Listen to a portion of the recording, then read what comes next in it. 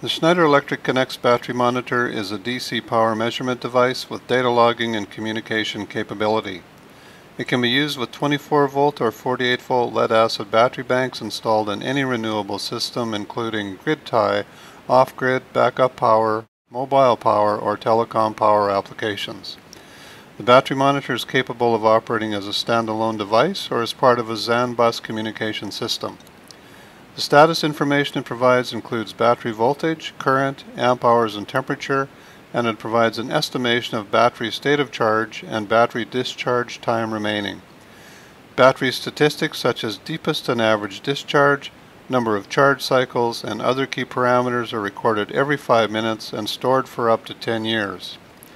The user can easily access data logs, which are valuable in analyzing battery usage, adjusting charge parameters, or identifying the root cause of a reduced battery capacity or premature battery aging.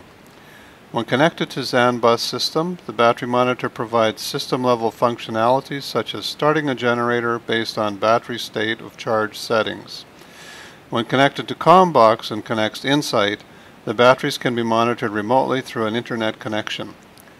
The Conext Battery Monitor is a feature-rich product that helps you monitor and maintain the most valuable asset of a battery-based system, ensuring long and efficient battery life.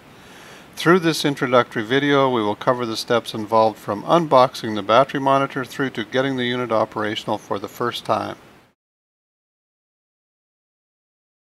The Conext battery monitor is shipped complete with a full set of accessories for most common installations.